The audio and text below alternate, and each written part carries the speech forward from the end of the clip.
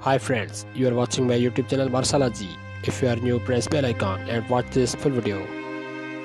NASA's Mars Perseverance rover sent this video footage of Martian Sol 1235. The Perseverance rover has not found direct sign of aliens on Mars. The rover's main objective is to search for evidence of ancient life. It is collecting materials like soil and rock samples from the Mars.